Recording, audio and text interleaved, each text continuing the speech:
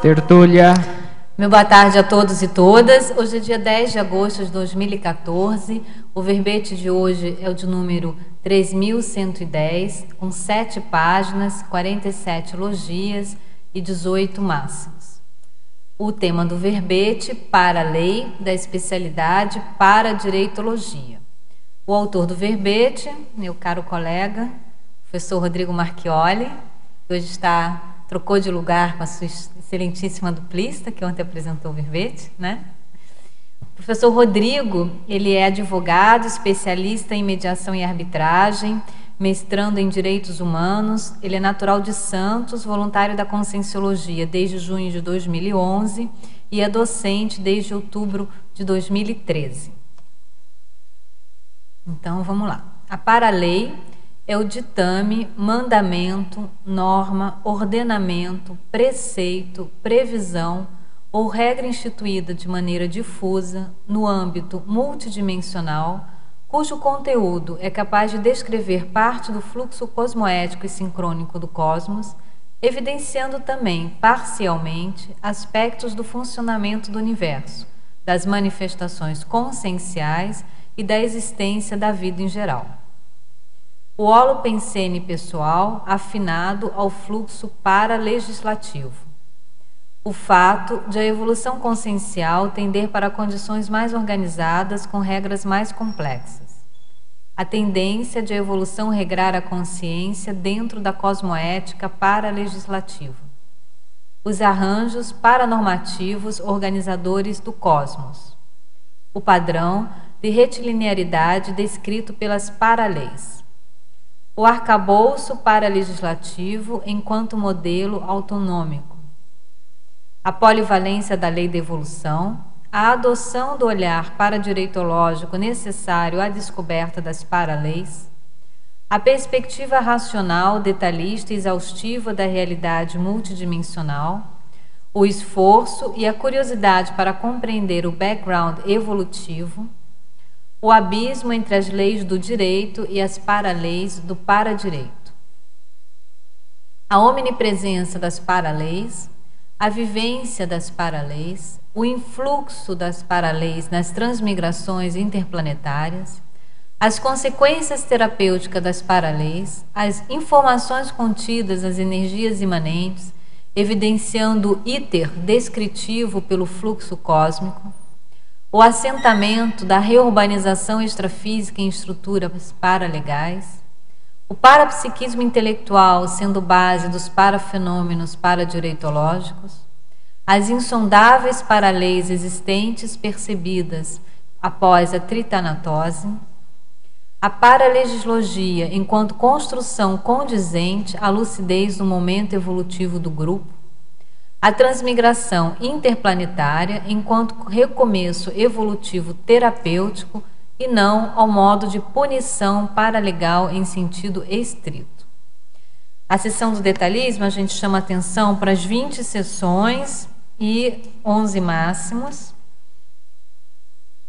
evidenciando uma substância conteudística do verbete e na seção da argumentologia, no item esforço, o verbetógrafo traz dez leis verificáveis a partir dos altos esforços e altas reflexões do pesquisador. Na sequência, ele apresenta uh, cinco hipóteses, né, cinco casos em que as paraleis podem não ser aplicáveis pela falta de incidência, né? A hipótese de incidência deixa de existir, então ele traz cinco exemplos neste caso. A não aplicabilidade da para-lei pela ausência da hipótese de incidência. Na página seguinte, no item correlações, o verbetógrafo ele também apresenta cinco exemplos de princípios utilizados na hermenêutica jurídica que podem ser transportados ou correlacionados para o estudo interpretativo das paraleis. E mais abaixo, cinco constantes depreendidas a partir da vivência da prática das paraleis, conforme a teaticologia. Na seção de remissiologia, dos 15 verbetes, nós destacamos autopensinização, cosmovisiologia, hermenêutica da evoluciologia, mater pensene para direitológico e para legislogia. O conhecimento das premissas básicas do cosmos, adquirido por meio do estudo teático das paraleis, permite às consciências se nortearem conforme a infrangível principiologia evolutiva. De qual maneira você, com o livre-arbítrio perante o de qual maneira lida você com o livre-arbítrio perante o ordenamento paralegislativo? É admissível a hipótese das paraleis serem infalíveis? Partindo agora para, a mega análise feita pelas professoras Marilene Raganin, Pilar Alegre e Socorro Frazão da Enciclo Sapiens, nós temos mega lei, logicidade, sinergismo, holofilosofia, para-cidadania, complexidade, universalismo, holomaturidade, mega-fraternidade, autogovernabilidade, interassistencialidade, cosmoeticidade, paracosmovisiologia, homeostaticologia, ortopensenologia, paradireitologia, equilibriologia, harmoniologia, paralegislogia e evoluciologia. Muito bom, Rodrigo. Mais uma vez, bem-vindo aqui, nosso tertuliário. Você é autor do verbete para a legislogia, não é isso? Sim. Tá. E agora você está apresentando para a lei. Você pode Sim. falar um pouquinho? É uma, é uma sequência que você já tinha pensado, um detalhamento? É. Primeiro, boa tarde a todo mundo. Obrigado pela presença, oportunidade de estar aqui apresentando o verbete. É, a Paralei ela é um, um, a continuidade do trabalho que eu comecei quando eu apresentei a Paralegislogia. Né? Na época, foi em 2011, eu tinha bem, bem menos experiência, bem menos conhecimento, mas já tinha assim é, uma ideia inicial do, daquilo que eu queria trabalhar. Né? É, até o, o Paralegislogia ele tem bem menos detalhe do que tem o verbete para lei. Então eu, eu procurei fazer uma uma picotagem da ideia, né, é, fazer uma, uma extensão da ideia para eu poder colocar tudo aquilo que eu já, já vim estudando nesses últimos três anos nesse verbete. Né? Então, esse verbete ele é uma, vamos dizer assim, um resumo dessa ampliação do estudo que eu comecei lá no Paralegislogia. Né? Tem, tem muita coisa que eu, que eu já é, adquiri, já agrupei né, de estudo, mas o verbete ele ele ele vem assim para sintetizar um pouco das ideias que eu que eu fui trabalhando ao longo desse tempo. Bom. E a paralegislogia, dentro da paradireitologia, uma, uma especialidade, uma subespecialidade que você tem interesse em Sim. estudar?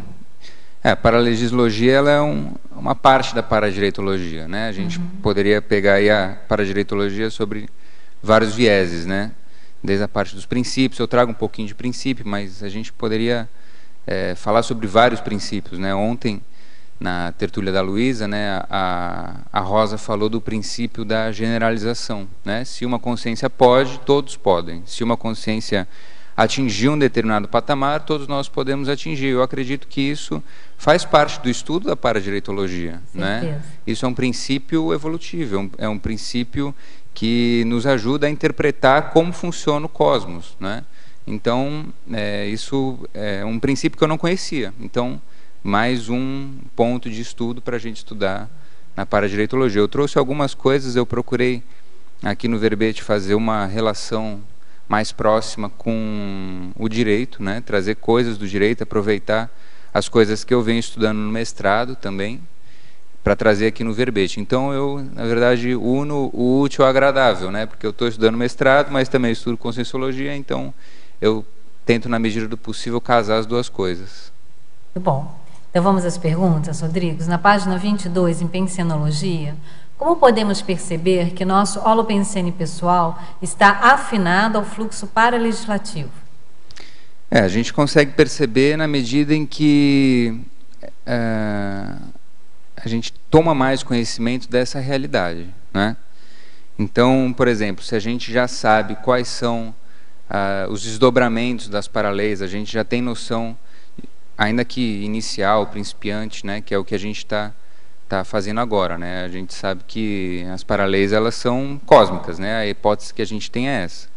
Mas ainda que a gente tenha esse, esse conhecimento inicial das paraleis, é, isso já demonstra que a gente já está se, se afinando, já está se sintonizando com esse ordenamento paralegislativo. E mais do que isso, né, que é, esse seria a parte teórica. Mais do que isso é a gente adequar a nossa conduta a essa realidade que a gente percebe. Como é que a gente adequa a nossa conduta? Com as coisas do nosso dia a dia. Né? A gente é, se manifestando de maneira mais cosmoética, é, elaborando um código pessoal de cosmoética, a gente respeitando o direito dos outros, res, respeitando os limites, os para-direitos dos outros. Então, nessas manifestações que aparentemente são banais, a gente já consegue se afinar a um ordenamento para-legislativo. Né? Então, por isso que na argumentologia eu até falo que o estudo das paraleis eles são paradoxais em todos os sentidos, porque a gente começa estudando, começa aplicando é, esse conhecimento nas coisas pequenas, mas ele tem uma repercussão é, inimaginável, né? uma repercussão muito grande. Então, por isso que eu, que eu, eu trago bastante essa questão dos paradoxos. Né? Bom, na terceira linha agora da fatologia, Rodrigo, na página 22 ainda. Como funcionam os arranjos paranormativos organizadores do cosmos? Como podemos estudá-los melhor? É, os arranjos paranormativos, a, a ideia que eu quis trazer aqui é que é, é, essas leis, é, essas constantes, essas regras que existem no cosmos, elas servem para organizar o funcionamento do cosmos, né?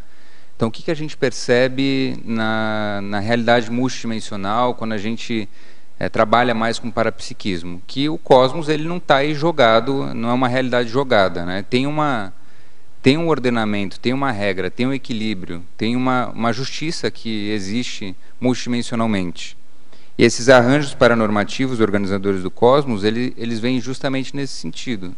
Né? Que existem esses arranjos para organizar o funcionamento do cosmos. E a segunda pergunta? Como podemos estudá-los melhor? Estudar melhor é a gente é, vivenciar, né? procurar vivenciar na prática o para-direito. Então, como eu falei, começa com coisas simples, né? começa com a gente ter um olhar mais cosmoético, ter um olhar mais interassistencial com as pessoas. Né? Então, na medida que a gente vai percebendo como, como esses arranjos para legislativos eles organizam, organizam, organizam é, a nossa vida cotidiana, a gente vai começar a perceber que isso é, trabalha de uma maneira maior, mais ampla, né? E aí a gente começa realmente concluir que existe um, esse arranjo, esse arranjo ele, ele, ele se faz de uma maneira cósmica, né? Se faz de uma maneira geral. Na página 23 agora, Rodrigo, na última linha da fatologia, o que é o caráter admoestatório paranormativo? Pode exemplificar? Sim. O que, que eu quis dizer aqui com esse caráter admoestatório? Bom, primeiro a gente precisa entender o que, que é o admoestatório aí, né? Talvez seja um pouco do terminologia uma terminologia jurídica, jurídica. né? Mas assim, é, para simplificar, o que, que eu quis dizer? Que quando a gente tem esse conhecimento das paraleis, é, uma realidade ela, ela fica mais latente, né? A realidade cosmoética fica mais latente para a gente. Então as paraleis elas têm essa característica de nos alertar quanto a isso, né? De é, nos mostrar, né? De nos admoestar, né? Que seria é um alerta, mas é um alerta que não é só um aviso, é um, é um alerta que nos impulsiona a realmente é, adotar condutas mais cosmoéticas, né?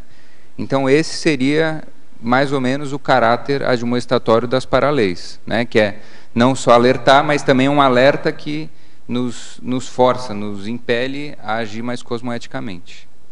Ok. Em tecnologia, na página 23, primeira linha, você pode falar sobre as técnicas da paralegística e a seguir as técnicas paralegiferantes. É, a, ah, aí eu vou, eu vou trazer um pouco da legística e da legiferância para a gente poder entender o que, que seria a paralegística e a paralegiferância.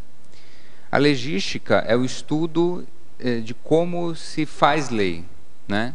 De como eh, a gente constrói uma legislação. Processo né? legislativo. O processo né? legislativo. Então, é, ele tem que ser sistemático, tem que ser uma coisa racional, tem que ser uma coisa lógica, tem que ser uma coisa encadeada, né? tem que ter uma organização. Isso, tudo isso faz parte da legística. A legiferância é o poder de criar leis. Né? Então, é, fazendo essa analogia com a paralegística e a paralegiferância, seria primeiro, na paralegística, é, a gente entender as técnicas de como essas leis foram criadas, qual é o raciocínio, qual é a lógica que está construída por trás desses arranjos paranormativos, né? E depois, é, quem quem teria criado essas paraleis, né? Ou quando elas teriam sido criadas? Então, tudo que diz respeito à origem da paralei faria parte das técnicas paralegislativa, né? Da gente entender como essas leis são criadas, né? Então, aqui é é uma hipótese, né? Eu não sei dizer, né? ainda está fora do meu do meu alcance aí de compreensão, mas tudo isso tem técnica, né? E a gente para a direita a gente se propõe a estudar tudo, né? Que diz respeito a isso. Bom. Uma coisinha, porque eu achei interessante esse esse paradoxo, né? De que nós estamos a partir daqui do, do, do legislativo da Terra interpretando a paralegislação, né? as paraleis. Acontece que, eh, se nós aprofundarmos um pouco mais a reflexão, nós vamos ver que o que temos aqui é uma cópia muito, muito mal feita, vamos uhum. dizer assim, caricaturada, do, do que seja, então, a para-lei. É. Sim. É, é. O, o, que eu, o que eu coloco aqui é, no verbete tem até uma... Da, da lei intrafísica e da paralei, né, talvez? Sim, sim. É, eu, eu coloco aqui em...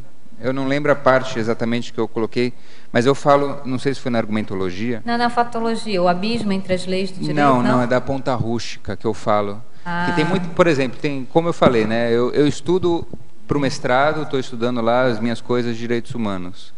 Eu encontro muita coisa é, que tem relação, que eu posso fazer uma analogia com o para-direito. Né?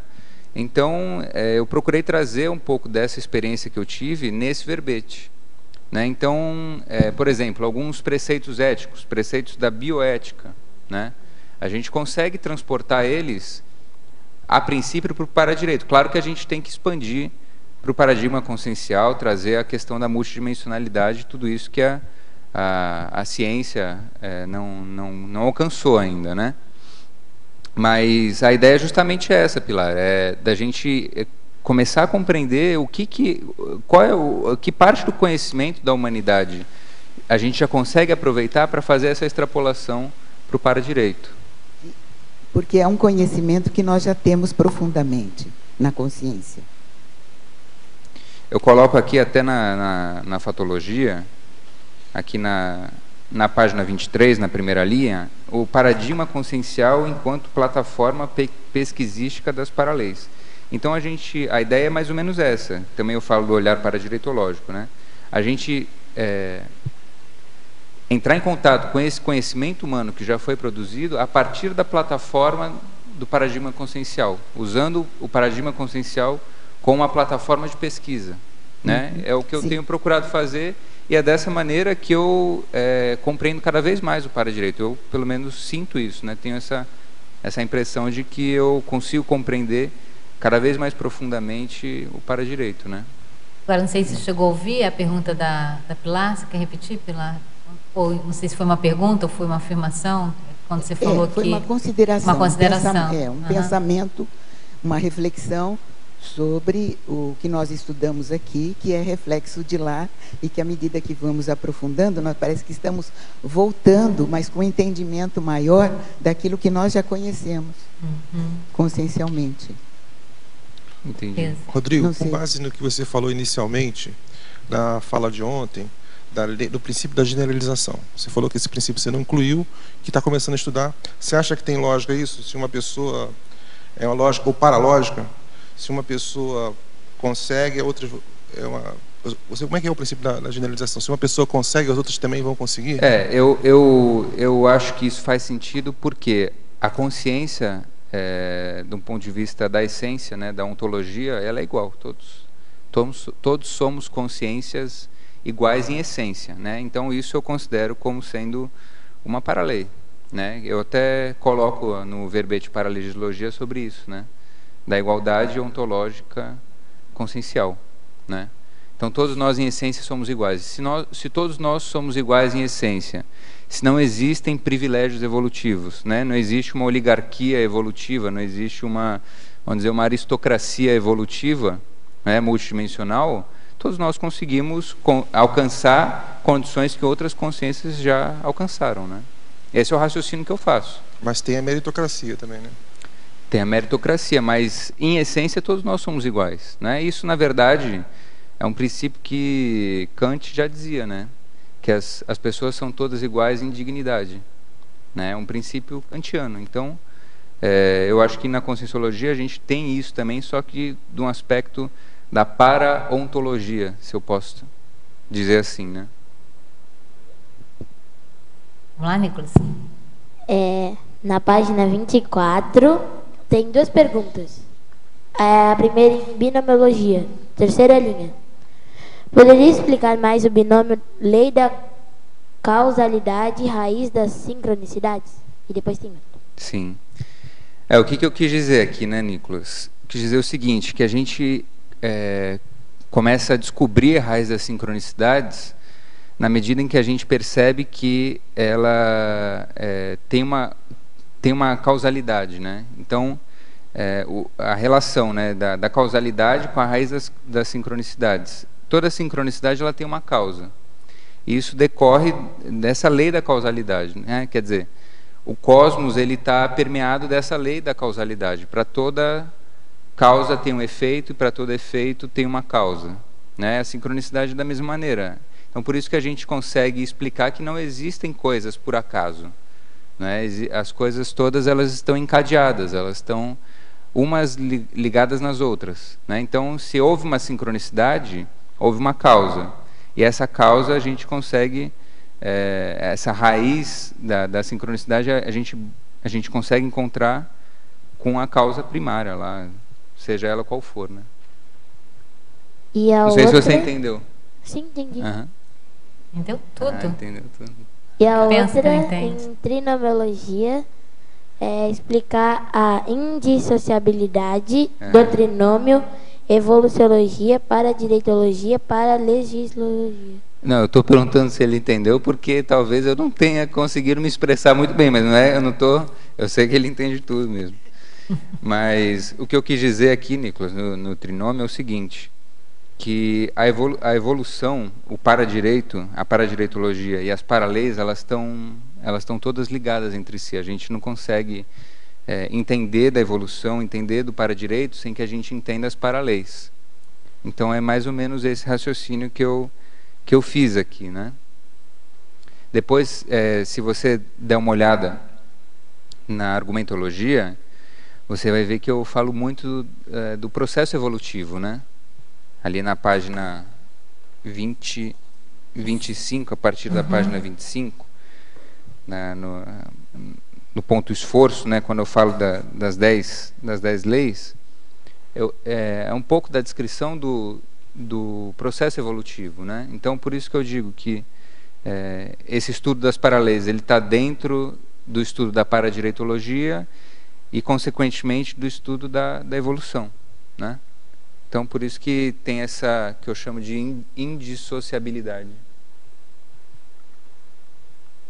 Tudo bem, Nicolas? Sim? Beleza. Então vamos aqui. Rodrigo, você falou da canção da sincronicidade, né? Na verdade, foi o Nicolas que trouxe esse assunto, quando você trouxe o binômio da lei da causalidade e raiz das sincronicidades. Você consideraria a sincronicidade uma mega paralei? Sim. É uma, poderia chamar de mega porque é da abrangência, né? Isso. O problema da abrangência. Aham. É, a gente poderia, vamos dizer assim, é assim pensando agora sobre isso, né? É, a sincronicidade, na verdade, ela é reunião, poderia ser a reunião de várias paraleis, né? A gente consegue construir uma, conseguiria construir uma mega paralei das sincronicidades a partir do, vamos dizer assim, do encadeamento de várias paraleis. Então, por isso eu acho que daria para entender dessa maneira, sim. Muito bom. Na definologia, Rodrigo, É, o teletertuliano pergunta: qual o, qual o significado da palavra previsão no contexto do verbete? Uhum. Você fala, ah, previsão logo, é a última palavra na primeira linha. É, com previsão eu quis dizer o seguinte, que a paralei ela é uma realidade imanente, né? Então, na medida em que ela é uma realidade que está tá presente antes mesmo que determinado evento aconteça, ela tem esse caráter de, de previsão, né? Ela vem antes daqui, da, do, do, dos próprios acontecimentos, né? Então, por isso que previsão é uma coisa que antecede né, a, a própria ocorrência do fato. E ainda na nefnologia, é, ah, é uma questão de vírgula. Parece que existe uma vírgula desnecessária após parcialmente. Vamos ver aqui? É, qual? Terceira linha para a lei no âmbito multidimensional, cujo uhum. conteúdo é capaz de descrever parte do fluxo cosmoético e sincrônico dos cosmos, evitando também parcialmente. É. é.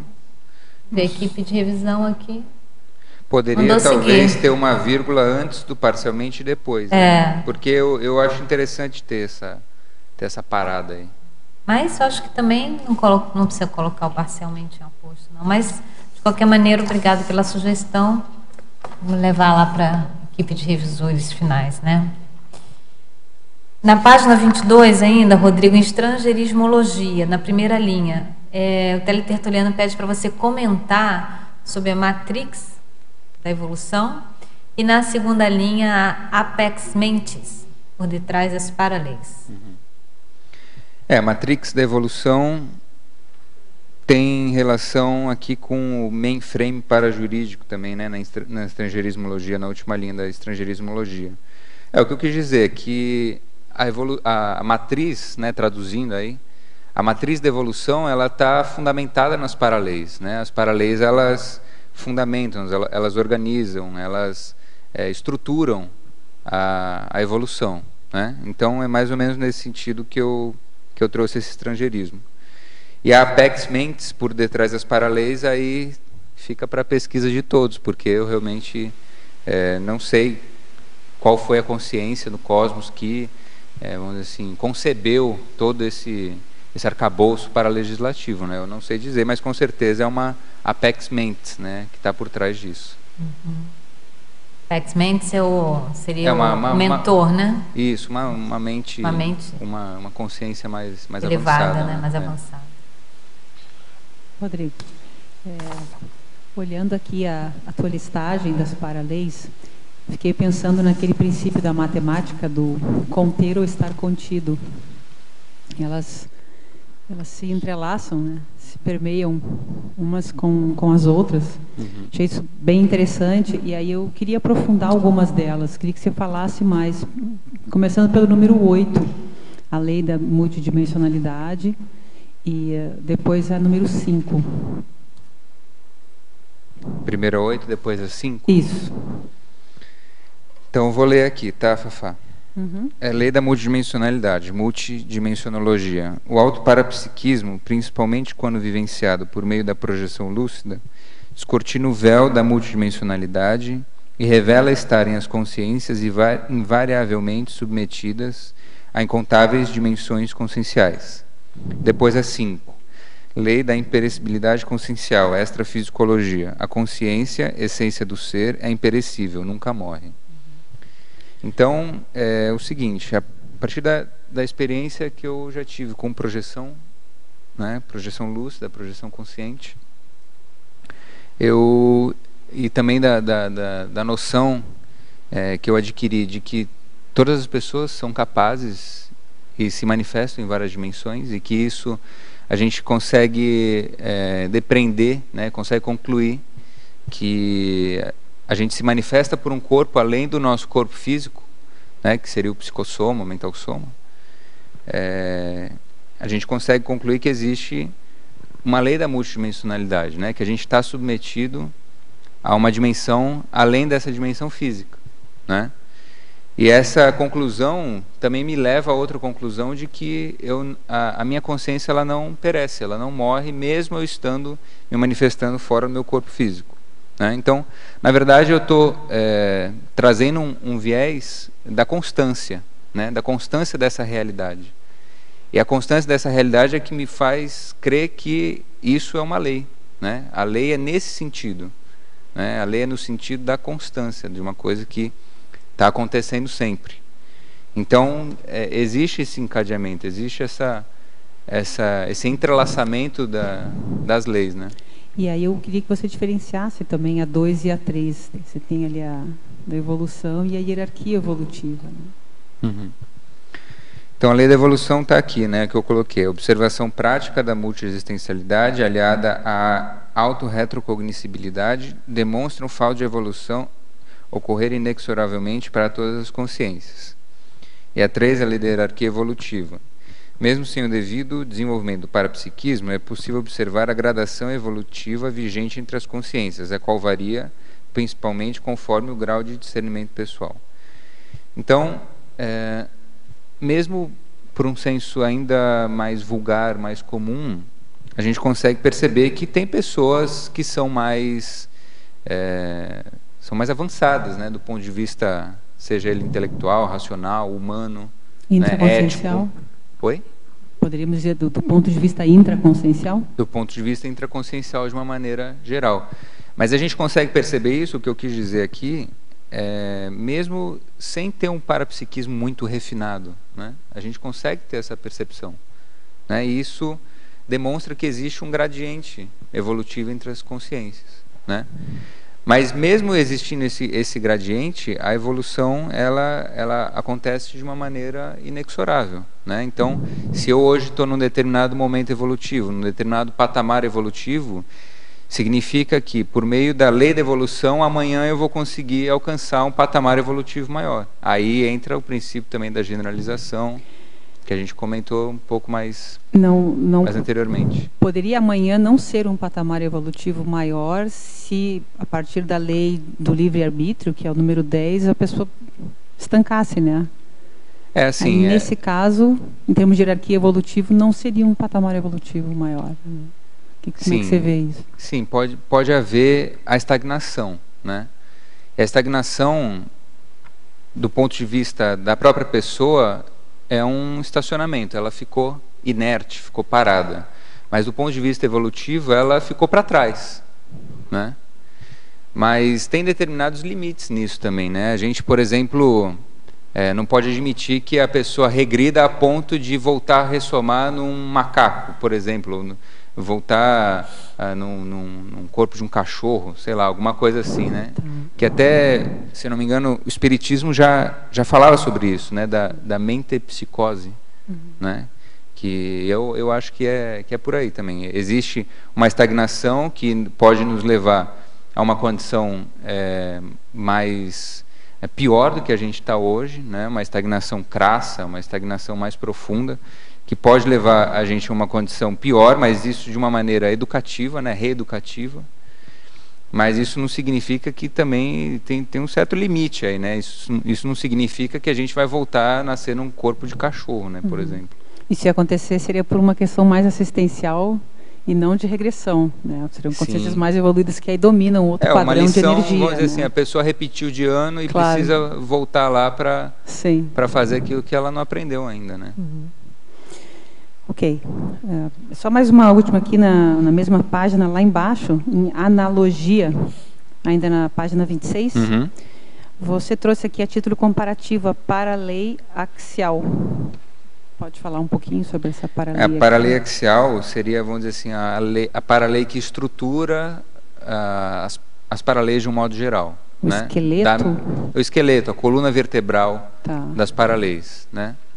Então, eu, eu fiz uma analogia com a Constituição Federal. Okay. Né? A Constituição Federal, ela também, vamos dizer assim, é uma lei dentro do nosso ordenamento jurídico que estrutura todas as outras leis. Né? Existe um controle de constitucionalidade das leis que estão abaixo da Constituição. Né? Então, se uma lei ela é contrária à Constituição Federal de um país, ela é uma lei que não é válida, por exemplo, né? Ela é uma lei que não é uma lei inconstitucional, uma lei que não pode ser considerada. E da mesma maneira, é, as paraleis elas elas seguem é, essa estrutura, essa coluna vertebral que, é, na minha, na, no, no, meu ver, é a lei da evolução. Né? Então, as paraleis elas seguem essa estrutura, essa coluna vertebral da lei da evolução. Então, por isso que existe uma cosmoética por trás disso, né? porque as, as paraleis elas estão sempre relacionadas, é, de uma maneira ou de outra, à evolução. É, eu lembrei de mais uma agora. Você falou da cosmoética, mas você não colocou aqui a lei da cosmoética em si. Você acha que vale a pena ou ela está aí? É que eu não vejo a, a cosmoética tanto quanto, como uma lei. Eu vejo mais como um princípio. Né? Ah, ok. Eu vejo mais como assim um, uma coisa que embasa as paraleis. Ela é um critério, ela é um parâmetro da paralei. Tá. Então eu digo o seguinte, que é, a paralei ela é sempre cosmoética, né? mas não significa que a cosmoética é uma paralei. Né? Tá. Esse é mais, mais, mais ou menos o raciocínio que eu faço, mas também eu coloco até aberto para o debate que ou seja, tá como se fossem as fundações de uma casa, então, ela embasa o que vem depois. Sim. uma base, é, a gente estrutura. Não, pelo menos na minha visão, a gente não consegue conceber uma paralei que não seja cosmoética. Não é? okay. Mas isso não significa que a cosmoética seja uma paralei. Okay. Obrigada. É, Rodrigo, aí na página 23, na efeitologia, eu achei interessante aí você, na terceira linha, você fala dos efeitos revitalizadores e holoterapêuticos decorrentes da lei do retorno. Achei interessante porque sempre quando a gente pensa em lei do retorno, a gente pensa só no, vamos dizer, no lado ruim, mas na verdade é muito bom, né? Quer dizer, ela é terapêutica. Eu achei interessante você poder falar um pouco. É, a lei do retorno, ela na verdade vem para nos ajudar, né? Ela nos dá uma nova oportunidade de ressarcir alguma coisa que a gente tenha feito de errado, né? Ou para ampliar um acerto nosso, né? Ela permite isso. Então, é, o mecanismo evolutivo ele está de tal maneira construído, engendrado, para sempre é, favorecer a nossa evolução, né? E não nos castigar, nos punir. Isso é uma ideia é, na minha opinião, não, não conjumina aqui com o que a gente está querendo dizer, né? Uhum.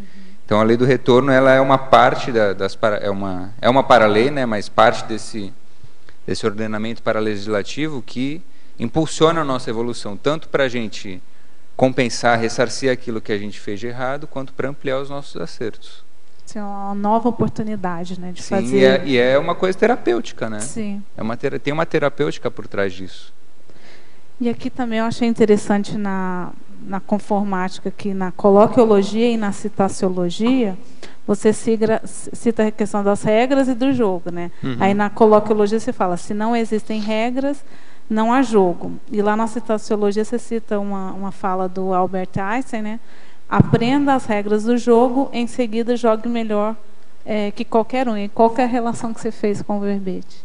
Então, se não existem regras, não existe, não há jogo. O que eu quis dizer é o seguinte, que o cosmos não é um caos, né? Tem regras. O nosso existem, vamos dizer assim, é, as regras do jogo mesmo. O nosso convívio aqui social, parasocial, de humanidade com para-humanidade, é um jogo, né? É um jogo de que tem um, uma, o jogo no sentido assim de troca um com o outro, né? De relação um com o outro. E para isso tem regras, né? Para isso tem a cosmoética. Né? Tem a ética. A ética aqui nessa dimensão, né? e a cosmoética quando a gente amplia isso. E aqui é, a, a, frase do, do Einstein, né? aprenda as regras do jogo, em seguida jogue melhor qualquer um, significa o seguinte, na medida em que a gente, quanto mais a gente conhece essas paraleis, melhor a gente joga evolutivamente. Né? Então, vamos dizer assim, o Serenão, a Consex Livre, são os que melhores são os melhores jogadores evolutivos. Né? Porque elas conhecem melhor do que ninguém como funciona o mecanismo do cosmos, como funciona a evolução. Eles que têm a maior inteligência evolutiva. A inteligência evolutiva é a gente saber lidar, saber jogar com, esse, com esses contextos evolutivos, né? Então, por isso que eu trouxe essas, essa, essa, esse colóquio, né? E essa citação. Ok, obrigado. Rodrigo, é... bom, parabéns, está uma, uma grande contribuição para o Direito aí. Muito obrigado, né? para a Jurisconte, para todos nós. Está muito, muito bem escrito. E tem, tem algumas questões que eu gostaria de te perguntar, mas é, tu acabou de comentar a respeito do modo com que tu compreende a aplicação do para-direito. Né? É, que não é nesse sentido punitivo e tudo mais, que tem a ver, que, que é a própria hermenêutica. A hermenêutica é como é que, o momento de aplicar, né? Nós temos lá, é, nós temos muitas leis aí, mas o modo de aplicação depende muito do caso concreto, depende muito de todo o contexto e do momento em que a interpretação está também a respeito da aplicação daquela regra. É, então, é, eu queria entender como é que como é que tu vê essa essa essa questão da aplicação. Tu colocou ali a questão das hermeneutas, né? Uhum. Mas eu queria ver como é que tu percebe o processo de aplicação. Estava tentando refletir também a respeito, porque o para-direito é muito também auto-para-direito. Né? Uhum. É, o sujeito que assume a responsabilidade em relação ao seu próprio processo evolutivo e ele passa a aplicar. Quanto mais nós vamos aumentando a nossa lucidez e, e, e subindo no processo evolutivo. Eu queria ver isso, e já para deixar, para não ocupar mais o microfone, é, depois ali em sinonimologia, tu coloca lei natural.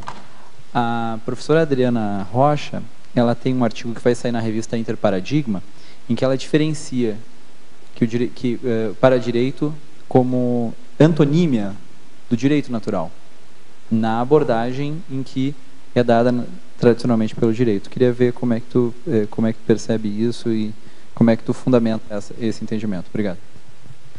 Obrigado aí, Gustavo, pelos elogios, mas eu acho que também todos nós temos condições de, de contribuir, principalmente você, tem também bastante conhecimento sobre o direito. Eu acho que é, esse conhecimento ajuda muito a gente conseguir fazer essas aproximações. É, bom, respondendo a tua primeira pergunta, que eu poderia dizer o seguinte, que para mim não, é, não faz sentido quando eu parto da premissa de que as paraleis elas estão fundamentadas numa cosmoética, né, numa mega fraternidade, que o, o mecanismo evolutivo ele está ele tá fundamentado nesse, nesses princípios, nesses valores, para mim não faz sentido encarar assim de uma maneira madura, sadia, é, as consequências das paraleis como punições. Né? O que eu vejo assim, que as paraleis, o conhecimento das paraleis, na verdade, eles desdramatizam, né? eles têm esse caráter de desdramatizar é, os efeitos paralegais, os efeitos das paraleis. Né? eu acho que quando a gente encara como punição, eu acho que há uma dramatização, há uma imaturidade nesse, nessa perspectiva, né? nessa interpretação. É, e então, tem aquele outro viés também, né, da, digamos assim, da carga ideológica que a palavra punição sim. traz, né, do, justamente da relação religiosa que a, que a palavra traz. Agora, é algo para gente, a gente discutir, né? Porque talvez a gente tenha que começar discutindo assim qual que é, é, claro que não é só uma questão de semântica, mas qual que é a ideia principal que a palavra punição Eu acho que a é, punição está trazendo. Por né? exemplo, uma criança, né? Eu, eu já, já porque já. tem aquela ideia da reeducação, né? Sim. Da punição enquanto uma medida reeducativa, né? Exato, como eu falei, né? criança repetiu de ano. A criança ela vai entender aquilo, ou ela teve uma lição de casa a mais, teve que fazer uma, uma tarefa a mais, porque ela não está indo bem na escola. A criança vai entender como uma punição. Isso, é Estou sendo sentido. punida. É. Mas o pai que está vendo aquilo, ele está vendo, não, o professor está tá fazendo tudo certo. O pai uhum. vai estar tá de acordo com aquela, com aquela condição e vai ver, não, isso é para educação do meu filho, para ajudar a educação do meu filho. Ele não está sendo punido. Então, isso tudo assim, do, do, ponto de vista ético, né? aquela coisa toda. A gente está falando aqui de cosmoética, de mega fraternidade. Então, por isso que eu não consigo enxergar de maneira alguma para a lei como o efeito da para-lei como uma punição. Mas né? talvez pela perspectiva do pai. Mas pela perspectiva do, do, do menino, é, é, nesse sentido. Sim, então... então, por exemplo, uma consciência, uma consréu, sei lá, uma consciência menos avançada, menos evoluída, ela vai entender como uma punição. É, Até talvez... pode até, ela, ela até tem o direito de entender como uma punição, mas eu acho que nós aqui no contexto, conscienciologia, cosmoética, mega fraternidade, não dá para para enxergar desse ponto de vista. É, porque dependendo da situação, né, Rodrigo, esse nosso nível de expansão consciencial e desse entendimento, desse mecanismo paralegislativo, ele não é claro, né? Quer dizer, hum. dependendo do nível evolutivo, nós ainda somos embotados ainda somos, é, é, digamos assim, influenciados por determinado nível de embotamento, binibulação e instintividade animal. E aí eu acho que nesse sentido, até mesmo, de repente, algum efeito de, né, de uma para-lei que naquele momento nós não tenhamos a clareza, a visão de conjunto, para que justamente a gente não tenha possibilidade de não é, enxergar esses efeitos como uma punição, nós que estamos sofrendo os efeitos da lei, podemos então considerá-lo como punição até então. Né? É, eu acho que essa analogia que você fez e você trouxe da criança é perfeito. Né? Porque para o menino ali, criança estava numa escola, tinha muitos amigos, está tudo certo, era muito bom, mas repetia dia no tempo inteiro porque estava gazeteando aula o tempo todo. Né? Teve que mudar para uma escola mais rígida. Aquilo para ele foi uma restrição que ele teve, se sentiu punido. Mas acabou sendo algo positivo. Sim. né, para o próprio. É, dizer, por isso que eu, eu relaciono muito dele. a questão da, do livre-arbítrio com a maturidade. Isso. Né? Mais ou menos nesse sentido também. Sobre essa questão da, da punição, é, ah. que é uma questão que é polêmica e merece polêmica. debate, né? É. É, acho que quanto mais a ignorância, é pior a interpretação, né?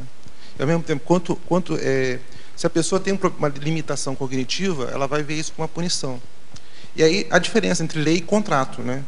Uma lei é uma regra, é um ditame. A princípio é um imperativo até isolado, aparentemente isolado. Né? Porque a lei deve ter alguma. Uma finalidade. Se ela foi bem feita, ela tem uma finalidade e, tá, e foi baseada num estudo sociológico, conscienciológico, aí você faz uma lei. Já um contrato é um pleno consentimento. Então o cara vai falar, a velha, a velha escusa é essa. Eu não, eu não assinei esse contrato, por que eu estou sendo punido? Né? Eu não, eu não assinei esse contrato. Né? Só que existe um contrato parasocial, ou um para-contrato, né? E aí eu queria saber de você, se você falasse, é, para você falar um pouco dessa relação entre lei e contrato. Eu acho que o contrato, depois eu vou voltar na pergunta do Gustavo, que tinha mais uma, mais uma pergunta, mas aproveitando o gancho aqui, é, o contrato que existe é um contrato evolutivo, né? Um contrato, vamos dizer assim, não, ninguém assinou um contrato extrafísico, olha, vou, estou comprometido com as paraleis. Não, é, na verdade é um, é um, vamos dizer assim, tentando aproveitar aqui é, a terminologia do contrato, não sei se eu vou conseguir, mas assim, é, as paraleis, elas na verdade, elas vêm é, para nos auxiliar. Então, se há um contrato, é, o contrato, ele, na verdade, ele só vai surgir na medida em que a gente se torna lúcido dessas paraleis. E aí a gente começa a, vamos dizer assim, é, estabelecer esse contrato, que em primeiro lugar é conosco mesmo, né? de é, se afinar, se sintonizar com esse ordenamento. Então, você não vai fazer um contrato com o teu amparador, você não vai fazer um contrato é, com a tua o teu duplista lá na tua duplista no no extrafísico, no intermissivo, né? Você faz, eu acho que esse contrato é mais no sentido intraconsciencial, né?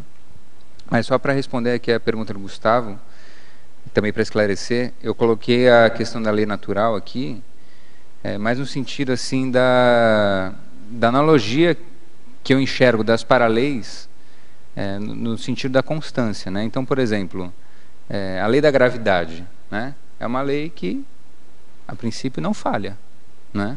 Se eu pegar o microfone e soltar aqui, ele vai cair no chão, né? Não preciso testar, acho que todo mundo vai é, já sabe que realmente vai cair no chão. E é uma lei natural, uhum. né? Então nesse sentido que eu trago as paralelas e não no sentido de lei natural que a igreja trazia, por exemplo, né? Direito natural. Exatamente. Eu, eu, eu coloco aqui até na antonimologia que é, na antonimologia número 6 da lei divina, né? Então não é uma lei divina, não é uma lei assim milagrosa, um, um negócio é, criado é, pela fé, pela igreja, essa coisa toda. Não, é uma lei natural no sentido de que ela é natural, é uma coisa que faz parte da, da natureza, natureza do cosmos, né? Só, só fechando assim, até que ponto, para fechar minha pergunta, até que ponto o custo emissivo é um contrato? Depende de você, né? Depende do, do, do, quanto de contrato, de quanto de obrigação de para dever você entende desse, dessa, dessa responsabilidade né, com um curso intermissivo. Aí depende de você, acho que é uma questão mais intraconsciencial mesmo. Acho que mais que o curso intermissivo, interpretar como contrato, acho que é a questão da Proexis. A Proexis como contrato com, com, com, com você mesmo, né? Então, Rodrigo, posso... É, deixa, deixa eu só perguntar. Ah, Gustavo, Gustavo, tudo bem? Você queria fazer uma parte? É, né, o do Gustavo.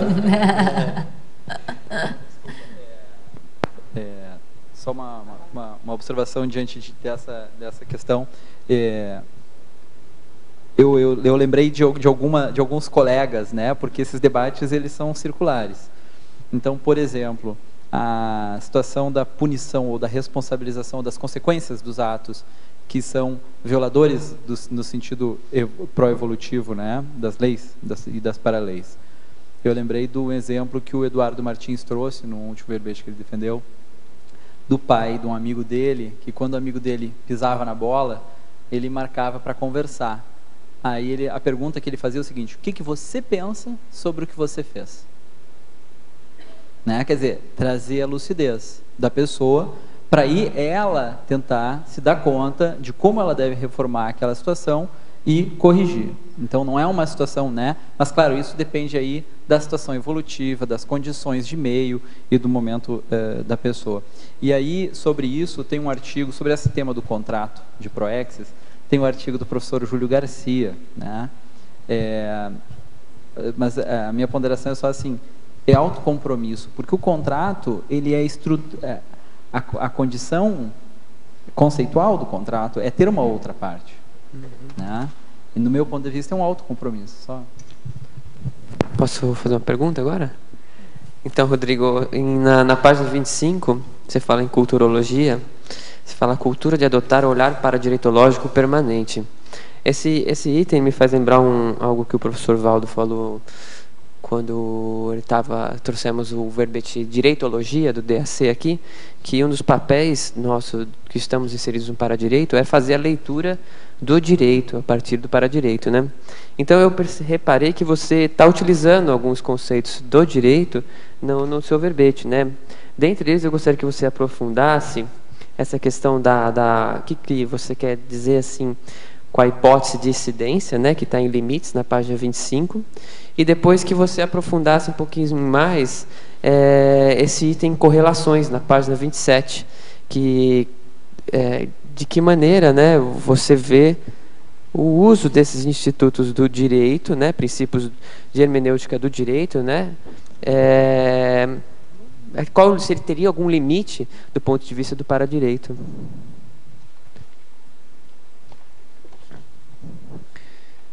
É, no, aqui na primeiro nos limites, né, respondendo a tua pergunta, no caso da hipótese de incidência, o que eu trago aqui é o seguinte, eu não sei se você chegou a ler uh, os, os, itens que eu, que eu trouxe aqui, mas é, eu nem, na verdade eu, eu, usei essa terminologia não é nem porque eu é, com a ideia do direito tributário, né? não, não foi essa a minha intenção.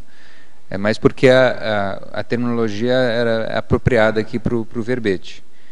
Então eu acho que daí eu já respondo a tua pergunta porque não não, não quis trazer a, a teoria jurídica da hipótese de incidência do direito tributário, nada disso. É mais é, assim o que eu quis dizer é que se não é, ter, tiver um fato, um determinado fato ocorrendo ali, a paralei ela deixa de, de incidir, né? deixa de ser aplicável, né? Então por exemplo, é, no item 5, né, que talvez seja o item mais claro aí para a gente entender esse problema.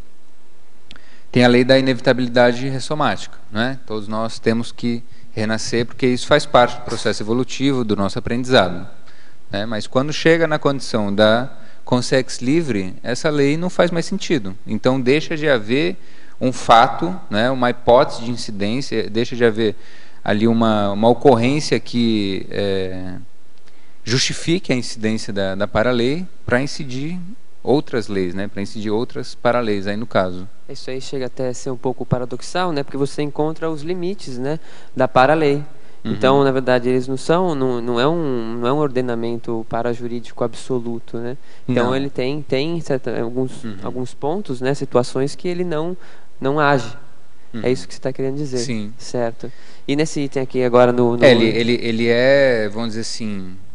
É, não sei se eu posso dizer essa. É meio forte dizer absoluto, né? Mas é quase que infalível, a gente pode quase que afirmar que é infalível, porque enquanto a gente não chega na condição de consciência livre, a gente tem que ressomar. Não tem jeito. né? Pelo menos essa é a hipótese que a gente trai, traz aqui na conscienciologia, né? Que a gente vai ressomando até chegar na condição da consex livre e fazer lá a trina, tritanatose, que é o momento que a gente é, descarta o psicossoma. Né? Então, antes dessa condição, ela é absoluta, em tese é absoluta. Né? Daniel, só um pouquinho antes de você passar para a próxima, só queria fazer uma contribuição. Você falou agora há pouco da lei da gravidade. Hum. Eu fiquei pensando que ela também ela é contextual, porque em alguns planetas ela inexiste. Né? Sim. Então, é, é, ao modo consex sim, livre sim. também, uhum. ela é específica e contextual.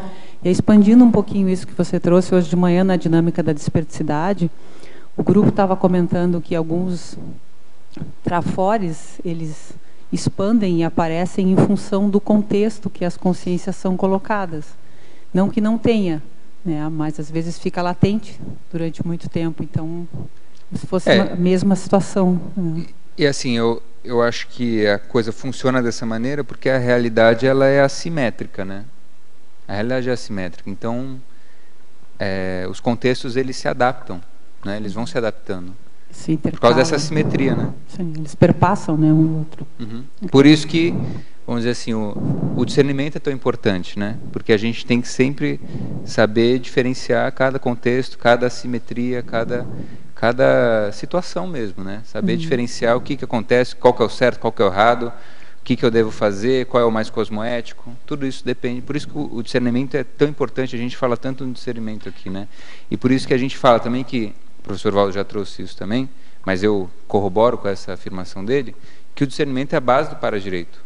Né? Porque a gente trabalha com essa realidade, eu diria até, essa lei, lei da assimetria, poderia até dizer isso. Né? Então, não só a cosmoética, como você trouxe antes, mas o discernimento em cima disso também, né?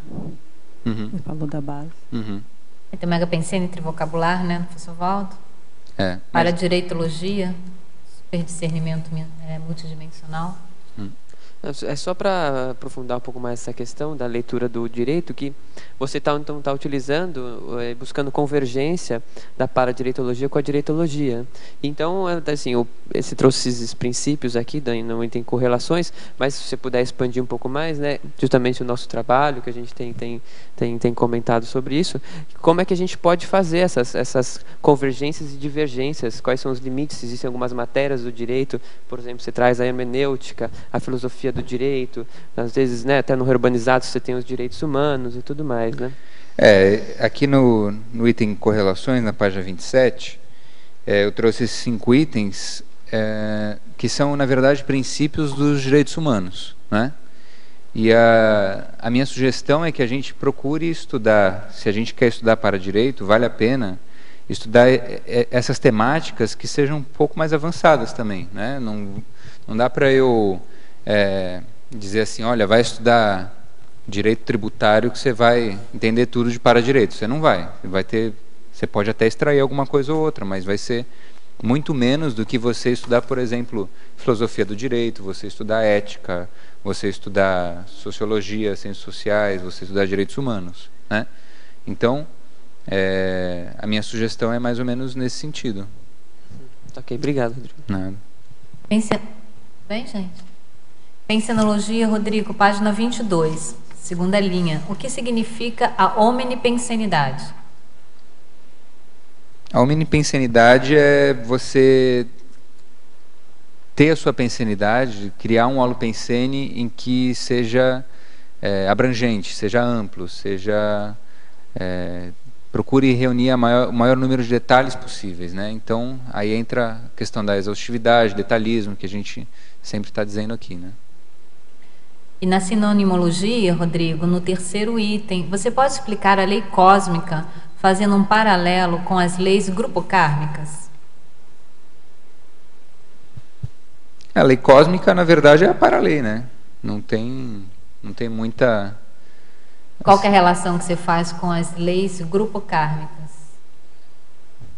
Então, a gente poderia dizer aí das leis grupocármicas no sentido da paralei seria a lei da inseparabilidade grupocármica, né? que aí a gente já começa a entender como é que forma esse grupo karma, como é que ele, vamos dizer assim, funciona na prática, né?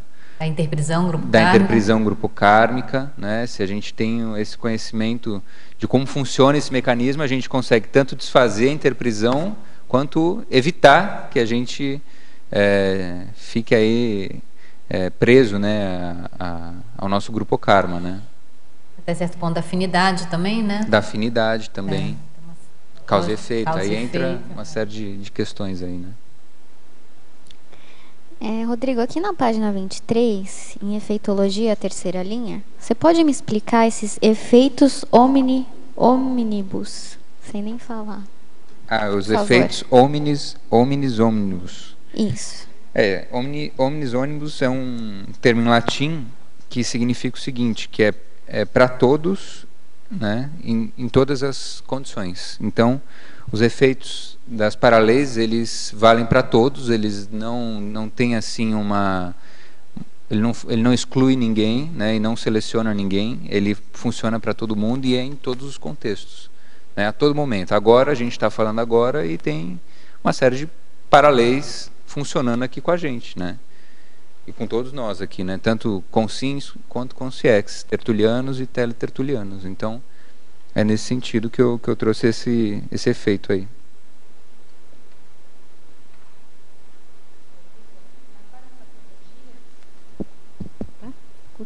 Na parafatologia, a oitava linha de cima para baixo, na página 23, você coloca as paraleis enquanto elemento de reequilíbrio evolutivo e eh, as paraleis enquanto elemento regulador dos limites conscienciais. Qual é a linha? Oitava linha. Para baixo. As paraleis enquanto elemento regulador dos limites conscienciais, enquanto elemento de reequilíbrio evolutivo? Isso. É, o que eu quis dizer aqui é o seguinte, é, que as paraleis, elas elas estão, vamos dizer assim, é, elas estão, elas foram construídas de uma maneira que permita o reequilíbrio da evolução, permita a reestruturação e a restauração da, da evolução das consciências, tanto quanto com elas mesmas, né, da, da nossa própria evolução, da autoevolução, quanto da nossa evolução como um grupo e como um, um polikarma. Né? Então a paralei ela, ela vem para equilibrar todas essas situações, porque se não tivesse paralei, por exemplo, para restaurar e reestruturar essa, essas condições, né, e admitindo que nós fomos criados, nós éramos consciências começamos lá, vamos dizer, no vírus, na ameba, né, simples ignorantes, é, não haveria evolução, né, se não houvesse um, um ordenamento, um para-ordenamento para equilibrar e para estruturar essa evolução.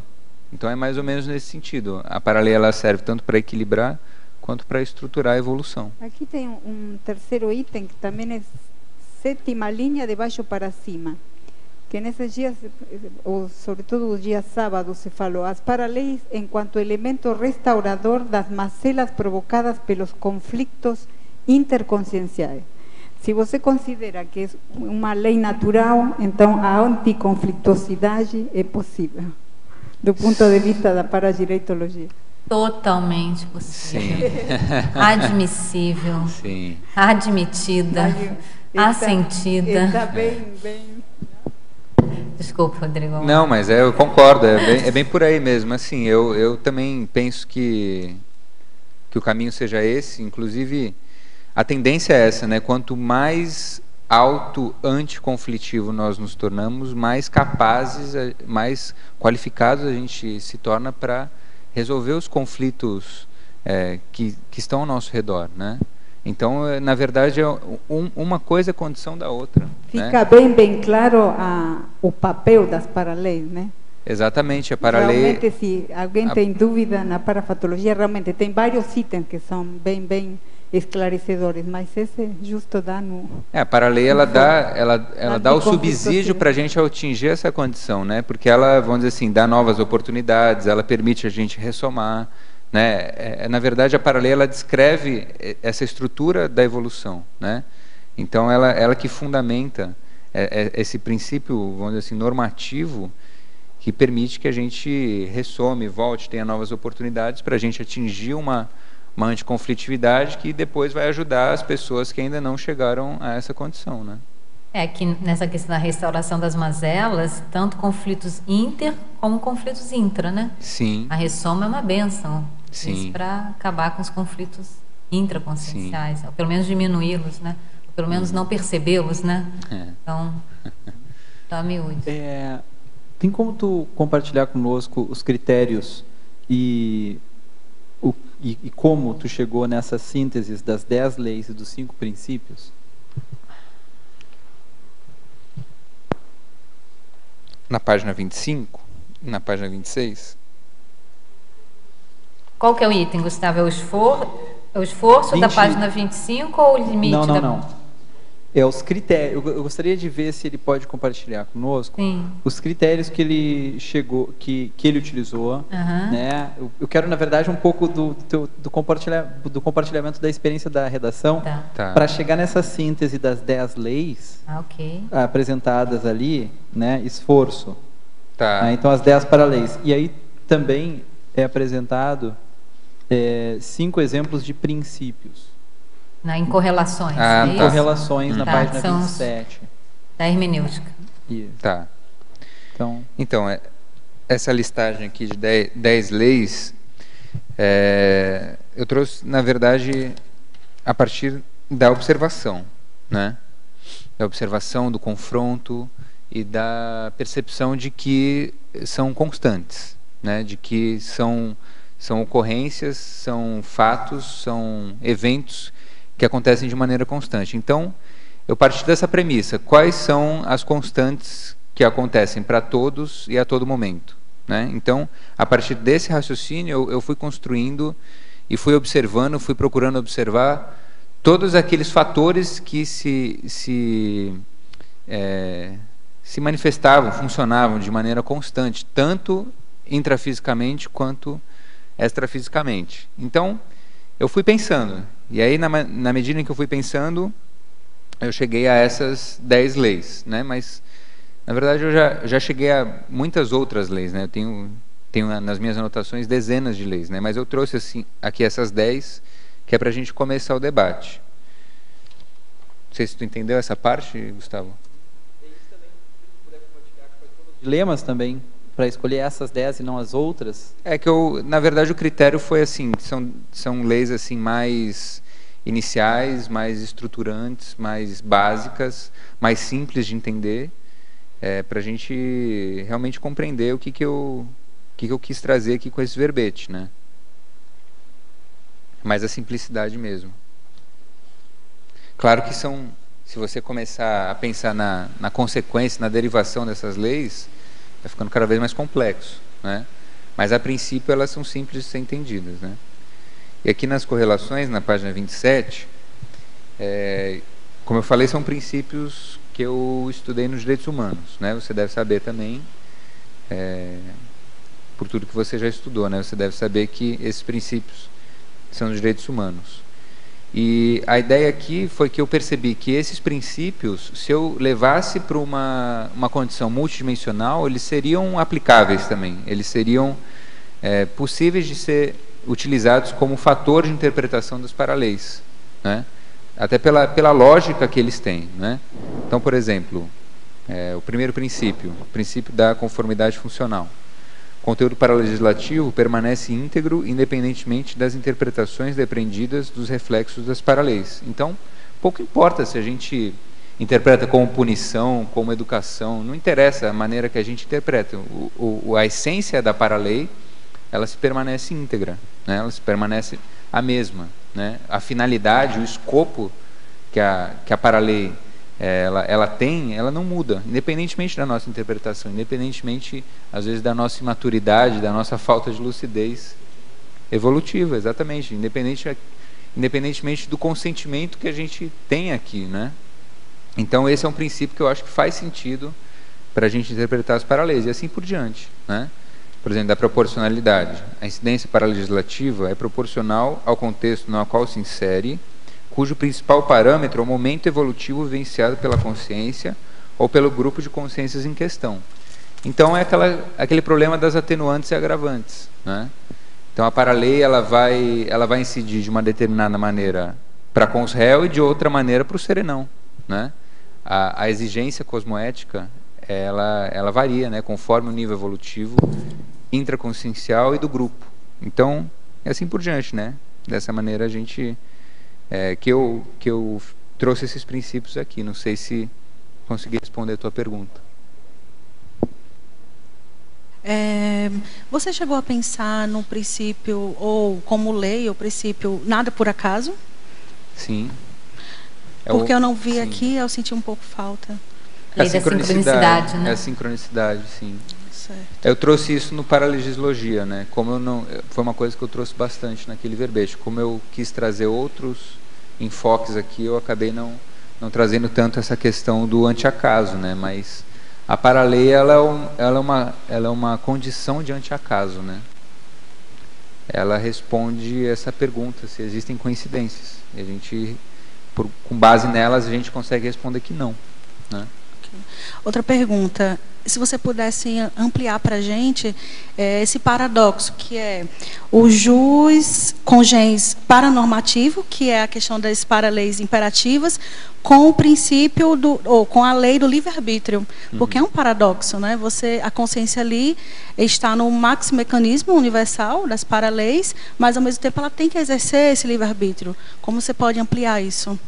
É, exatamente. O, o que eu entendo assim dessa relação do livre-arbítrio com as paraleis, com esse essa imperatividade das paraleis é que há uma é, uma interação e não uma, vamos dizer assim, um uma, uma força eh, punitiva nesse sentido, entendeu? De, é, de, um, de um castigo, de coercitivo. Ela respeita o teu momento evolutivo.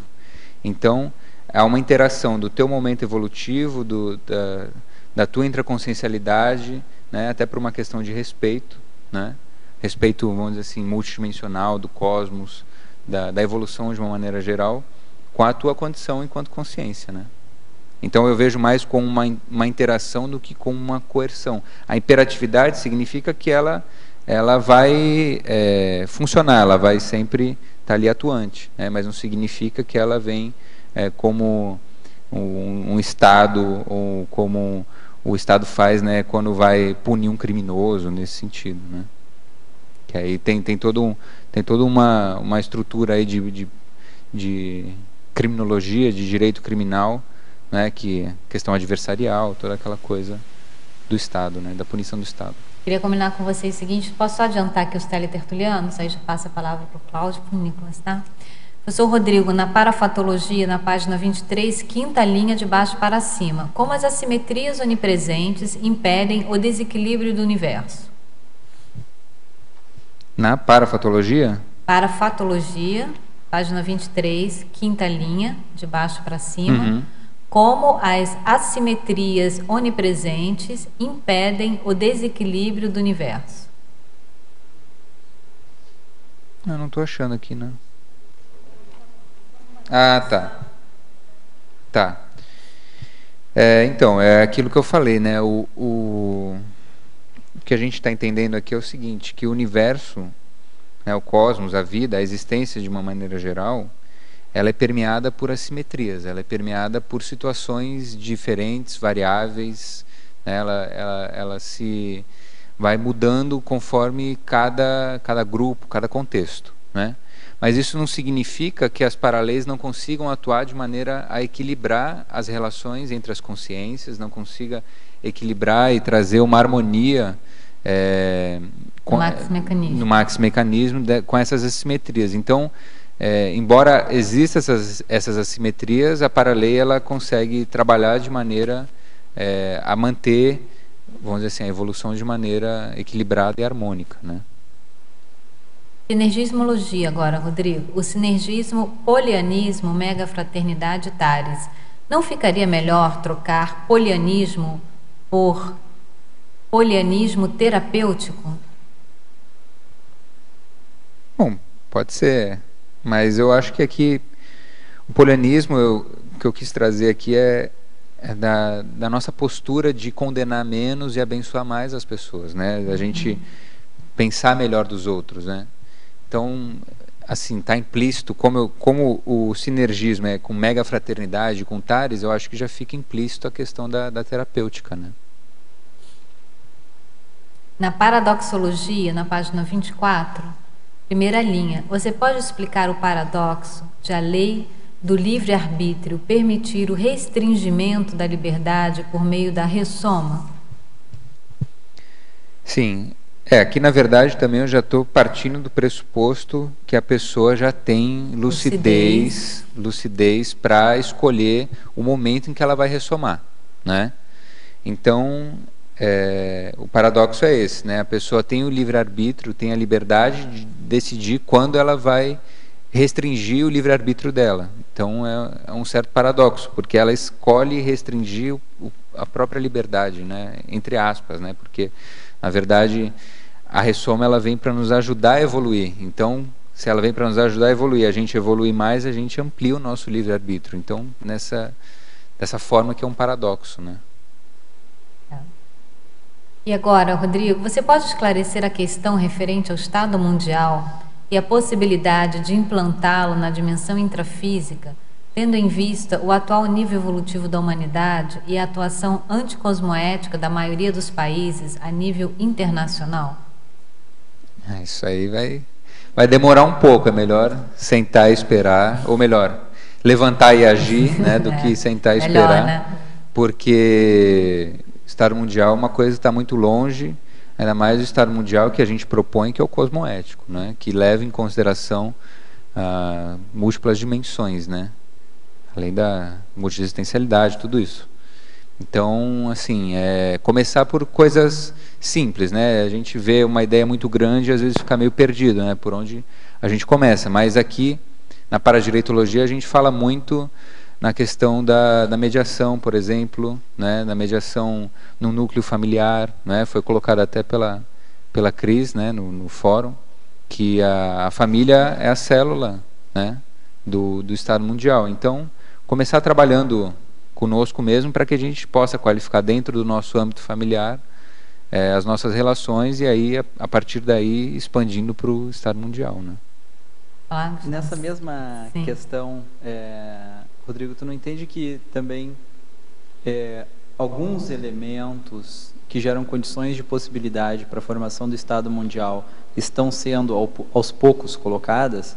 Exemplo, é, direitos humanos e a universalização desses tratados ligados a direitos humanos, uhum. a própria é, compartilhamento de informações com todas as redes e a revolução das tecnologias de informação, globalização, mundialização, todos esses processos é, não são não estão colocando algumas condições para isso? É, mas é uma minoria ainda, né? Que uma micro minoria que está é, tá consciente da importância desses direitos humanos, né? A gente não não precisa ir muito longe. Israel agora está, assim como os palestinos também, os palestinos se matam, né? E Israel também mata eles mais ainda, né? Então é, essas coisas são a prova de que a gente está muito longe ainda dos direitos humanos, o que dizer do Estado Mundial. Né? Então, enquanto não, não, não houver uma, uma sensibilidade maior é, no respeito aos outros, né, no respeito e na ética em relação aos outros, a gente não pode é, pensar que o Estado Mundial cosmoético vai acontecer tão cedo. Então, por isso que, assim, tudo isso podem ser que sejam prenúncios, mas é aqui pra gente, né, Gustavo? É uma coisa assim mais mais nossa mesmo, né? Mais de pessoas que estão estão mais esclarecidas. Se a gente for pegar, tem pessoas não tem nem o que comer, né? Então, milhões de pessoas que não têm o que comer, tem milhares de pessoas morrendo de ebola agora na África. Então, é, eu acho que está tá um pouco longe ainda.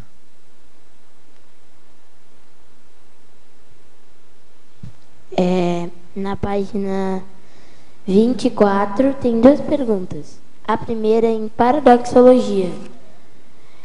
É, na segunda linha, poderia explicar o paradoxo de as paraleis serem sutilíssimas e ao mesmo tempo ostensivas? Sim. É, o que eu quis dizer aqui foi o seguinte, que as paraleis elas são são realidades sutis, né? A gente não consegue percebê-las assim se a gente estiver muito dormindo no ponto, sabe? Muito comendo mosca, né? A pessoa está lá voada, não está prestando atenção no que acontece, ela não vai conseguir perceber que tem paraleis atuando na vida dela. Mas ao mesmo tempo elas são ostensivas porque elas estão aqui a todo momento, né? Elas estão a todo momento atuando, estão a todo momento é, tendo aplicabilidade na nossa vida, né? Você agora está recebendo várias, vamos dizer assim, tá estão havendo várias repercussões que são fruto de, paraleis, né? Você está interagindo com as energias, você está aqui ressomado, você está evoluindo, tudo isso faz parte de um contexto paralegislativo, né? Então, na medida em que elas são ostensivas por estar a todo momento trabalhando com a gente, elas são sutis, porque se a gente não estiver atento, a gente não percebe elas. Sim. Você tinha uma outra pergunta, Nico? Também. É, na mesma página, em legislogia, é, o segundo item, poderia explicar a lei do eterno devir? Sim, é, esse seria talvez um, um sinônimo para a lei da evolução, né? Porque o devir o que, que é? É o vir a ser, né? Então a evolução é isso, é a gente sempre é, vir a ser algo mais evoluído, vir a ser algo mais avançado, vir a ser algo mais sadio, mais positivo, né? mais saudável, mais homeostático, mais equilibrado, mais harmônico. Então é uma coisa eterna, né? é uma coisa que não acaba. Né? Eu estava até Estava até brincando, se a evolução tivesse um fim, a consciência livre entraria em Melex. Né? Ela ficaria com tédio. Né? O que, que eu vou fazer agora? já aprendi tudo, e aí? Seria uma Melex da consciência livre, né? Porque, Deve sei ser. lá, se eu tivesse aqui, no, no, já tivesse aprendido tudo aqui, eu também ficaria entediado, né? Então, por isso que a gente fala que é um eterno devir, né? A consciência livre também está num eterno devir. Paulo? É, Rodrigo, duas perguntas. A primeira é mais de caráter pessoal. Há uma, alguma influência familiar nesse aspecto seu, da sua afinidade com, com o para-direito, ou, ou- é, essa ideia inata? É uma ideia inata que você tem, mas você, teu, teu, tua família ajudou nesse aspecto de você estudar esse assunto? não? Eu acho que sim, é, na medida assim que foram uma senha para mim, porque meu pai é advogado, minha mãe é advogada, minha irmã é advogada, meu tio é advogado, meus primos são advogados, eu sou advogado. Ou seja, Não, não tem outra opção na minha família, é só, dire... só direito mesmo. só Então, direito. Então, Eu acho que isso foi uma senha para mim, entendeu? cercar Eu não sabia disso. que não jeito. fui- perguntei. E ao mesmo tempo, antes da tertúlia, nós estávamos comentando que você, ao mesmo tempo, é um pouco max dissidente nesse aspecto, né? Nós estávamos falando lá da, da pendura, e você falou, não, a pendura, não, a questão da pendura, Uhum. o dia da pendura, que é amanhã, né? Eu não, ah, não concordo com isso, né? Você falou, né? É, eu, assim, eu já tinha noção disso, né? Noção da. Na época, eu acho que eu não não estava na conscienciologia ainda, mas é, aquilo já não fazia sentido para mim, né? Mas é a questão da- das tradições mesmo, né? O direito é cheio de tradição, e cheio de tradição burra, né? Outra pergunta, é, comente sobre a verbaciologia. É, a verbaciologia me parece uma aplicação do para-direito ao processo de comunicação. Como é que você vê a questão da verbaciologia? No processo da comunicação. É, eu acho que tem tudo a ver, porque, por exemplo, é, comunicação não violenta, né? É pode ser um, um tema amplo de estudo para direito, né? E a comunicação não violenta é, começa com a maneira que a gente coloca as nossas energias, né? A nossa pensanização, né? E isso vai se refletir, por exemplo, na maneira que a gente se veste. A gente não não usa uma, uma roupa agressiva, não, não se comporta de maneira agressiva. A maneira que a gente fala também, né? Toda essa, todas essas formas de comunicação não verbais e verbais tem que ser, tem, devem ser não violentas, né? Aí a relação com o para-direito, né? Agora, a Do respeito. Desculpe, agora a verbaciologia que você perguntou é da, da verbação, verbo mais ação? Estaria dentro também da linha da coerenciologia, né? Uhum. Faz parte da cosmoética e aí para direito. nessa linha, né? Não, não só da expressão verbal, mas da verbação, né? Que você estava colocando. Beleza. Espera, posso caminhar mais um pouquinho aqui, já te passo a palavra? Em parafatologia, Rodrigo, na vigésima, na página 23, na terceira linha, de baixo para cima. Poderia comentar sobre a transmigração interplanetária enquanto recomeço evolutivo terapêutico e não ao modo de punição paralegal em sentido estrito. Isso, dá pano para manga. Tá aqui. É, então, perigo essa pergunta essa hora da Tertúlio. Não, então, vou, vou tentar ser breve. É... não, mas se quiser trazer mais comentário, não tem problema, a gente vai embora. É... Aqui o, o, que eu queria chamar a atenção é a parte do sentido estrito, né? Porque se a gente uhum. entende de uma maneira mais vulgar, de uma maneira mais superficial, de uma maneira mais genérica, a gente pode entender como uma, uma punição mesmo, né? Mas quando a gente entende no sentido estrito, de uma maneira mais profunda, levando em consideração o mecanismo evolutivo, né, a gente vê que é um recomeço evolutivo, né?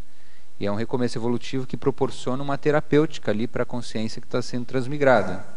Então, é, vamos dizer assim, o candidato à transmigração pode estar tá lá lamentando, ah, estou abandonando essa condição que é mais favorável e tal, estou indo lá, estou repetindo de ano, sei lá, uma analogia. Mas se ela tivesse a maturidade, se, como nós aqui, eu acredito que já temos, essa condição de ver que aquilo vai ajudá-la, que vai ajudá-la a recuperar uma condição que ficou perdida, ficou para trás, eu, eu entendo como uma forma de recomeço evolutivo terapêutico, é, né? Na condição de evoluciólogo você pode ter esse entendimento, mas justamente por ela não ter essa lucidez que ela considera uma punição, né? Sim, é. exato pela imaturidade dela. Pela imaturidade dela que ela acaba considerando uma punição. Mas eu acho que aqui a gente também não pode ser imaturo de, de pensar que isso é, seria uma punição, né? É, novamente, a gente volta lá pro, pro, pro conceito da, da punição, é. né?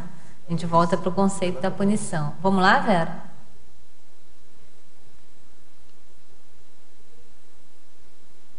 Tá falando.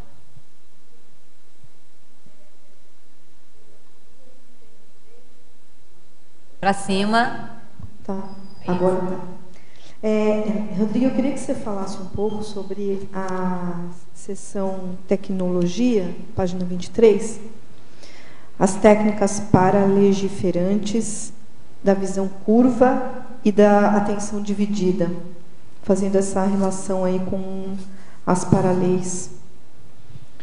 Então, a técnica paralegiferante eu, na verdade, vamos dizer assim, jogo a pergunta para uma um serenão, aí uma consex livre, porque eu, eu não sei responder quais são essas técnicas, né, de criação de paraleis, né, mas eu, eu, eu trago aqui que é para a gente poder pensar, né, quais seriam essas técnicas de criação de paraleis, quais seriam os critérios para dar origem, para dar origem a essas paraleis, né, então, tudo isso tem uma técnica, né? tem uma técnica por trás disso. Essas paraleis têm uma inteligência por trás disso, né? tem uma logicidade por trás disso.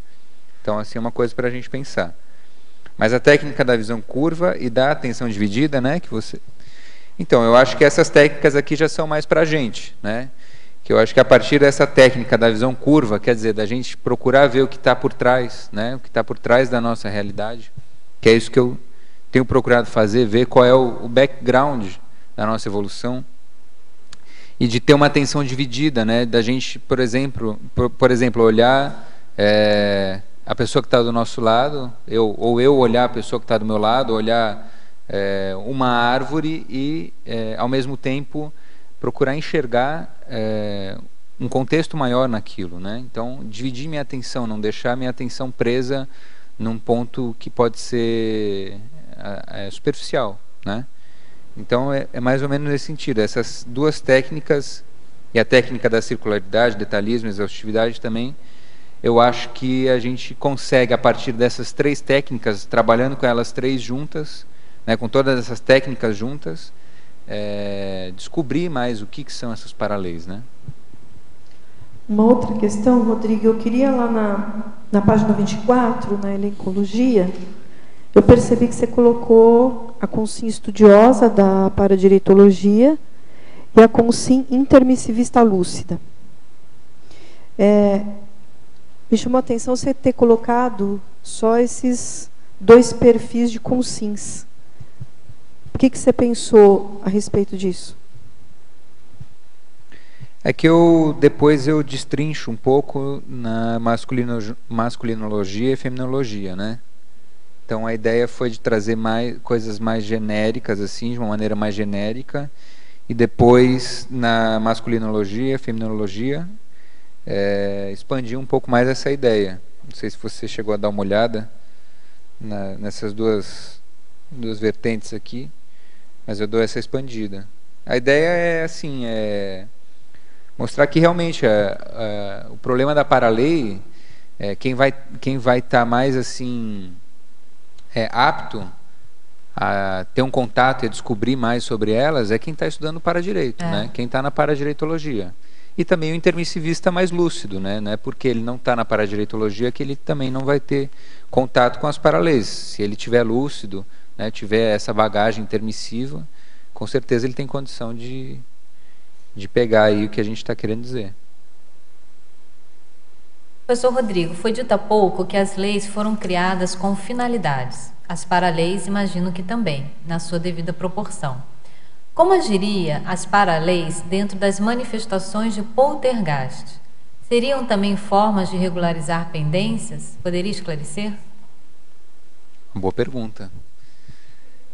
É, pode ser, pode ser, é, não sei, é, pode, pode fazer parte da, vamos dizer assim, é, uma sincronicidade, alguma coisa para a gente prestar atenção, né? Um poltergeist pode vir nesse sentido. É, e tem uma lei também, que, é uma lei, penso também, que é uma, uma, constante, né? Que é a lei das afinidades, né? Os afins se atraem. Uhum. Então, normalmente, em função de uma potencialização de energias e um determinado padrão energético, né? E aquilo é potencializado, isso vai começando a afinizar com o CX também, da, que vão produzindo efeitos, efeitos também, né? físicos, né? Da interassistencialidade, a lei da interassistencialidade, né? Porque se a pessoa já tem noção de que é um poltergeist, já tem noção de que é uma pode ser uma consex mais patológica ali que está se manifestando, porque não é, procurar trabalhar com ela, né?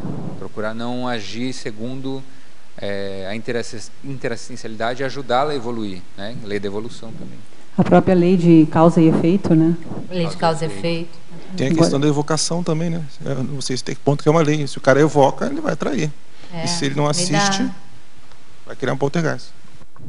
Agora eu queria trazer um ponto aqui, que é, você falou a questão da legitimação das leis, e aí eu fiquei pensando no que a gente conversou antes do estar contido ou conter. Talvez as próprias leis se legitimem por si só. Se mencionou que teria que jogar a pergunta para os para as consciências livres e eu acho que não. Eu acho que eu fico pensando aqui que talvez, por exemplo, um, o próprio princípio de que da convivialidade evolutiva ou esse princípio da inseparabilidade grupo kármica também poderia estar como base de tudo isso também, junto com a cosmoética e com tudo isso que você trouxe. Não sei o que, que você acha. É, eu acho o seguinte, que é, a gente o, o, a, a, o viés que eu estou querendo trazer aqui da paralei é realmente de uma abrangência cósmica, né? Mas a gente pode entender, é, sei, aqui eu estou extrapolando o contexto do verbete, né? Mas entender que uma lei do nosso CPC tenha uma correspondência multidimensional. Mais ou menos nesse sentido. Fafá, posso caminhar aqui? Pode, Depois pode. eu te passo. Na página 23, em Laboratoriologia, já foi construído em alguma IC o laboratório conscienciológico da paradireitologia? Está desinformado, foi, hein? Se não foi, há previsão de construí-lo? Willy, te convido a fazer vários experimentos no laboratório da paradireitologia construído no CAEC, inaugurado ano passado, três horas e meia de experimento. Ó, venha você inaugurado também. exatamente 24 de 11 de 2013. Venha fazer os experimentos. Não só você, mas a todos que estão nos assistindo, a gente convida para fazer os experimentos no Laboratório da Paradireitologia aqui no CAEG. Em efeitologia, na página 23, primeira linha, Rodrigo, pode exemplificar os efeitos imediatos das paraleis de acordo com o binômio multidimensionalidade e instantaneidade? E a seguir, contrastar com os efeitos mediatos das paraleis segundo a cronêmica? Então, é, as paraleis elas têm um efeito imediato instantâneo quando a gente leva em consideração a multidimensionalidade, né? Agora, se a gente está é, nessa dimensão intrafísica e é, aqui não, não há a mesma celeridade que existe multidimensionalmente, porque na, no extrafísico, pensamento é ação, né? A gente pensa e acontece, as coisas são instantâneas, são automáticas, né? Mas aqui, muito embora o efeito seja imediato no na extrafísico, multidimensionalmente, intrafisicamente muitas vezes não há essa imediatidade no, nos efeitos, né? Às vezes as coisas demoram para acontecer por aqui. Então, o contraste seria mais ou menos esse. Uhum. E em binomiologia, na página 24, no final da primeira linha, pode exemplificar o binômio para ontologia e para deontologia? Então, a paraontologia seria a nossa essência multidimensional da nossa paraprocedência enquanto consciência. Né? E a paradeontologia é o estudo do paradever. Né? Então tem essa relação é, da nossa essência com os nossos deveres evolutivos, né? os deveres que dizem respeito a todos nós enquanto consciências. Né? Então seria mais ou menos nesse sentido esse binômio. E mantendo aí na binomiologia, Rodrigo, ele, é, você pode explicar o binômio conhecimento universal, não historicidade? Sim. É, as paraleis, elas são conhecimento universal. Elas não estão submetidas ao processo histórico, né? Elas não estão submetidas à evolução da humanidade, da civilização historicamente, né? Então, essa seria a relação.